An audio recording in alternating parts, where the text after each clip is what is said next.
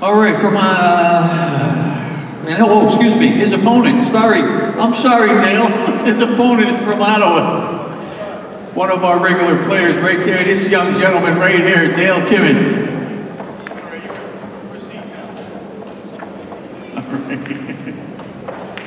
All right, moving on from Concord, North Carolina. Also a perennial top finisher right here at Turning Stone. He tells me that he's he's finished everywhere but first and second. Is that correct? Well, you know, you got to keep plugging away, baby. it's coming. It's coming. and he's won all over the country. He's been all over the world. He's been on the Mosconi Cup. He's been a competitor in the World Games for the United States. He's sponsored by Lights Out Apparel, Kent Davis Custom Cues, Tone, CTE, Pro One Aiming and Pool, Billiards.com, Brandon Shuff his opponent, another gentleman, been all over the world and he's won everywhere he's gone. From Maybrook, New York, we welcome back Earl Strickland. All right, good luck.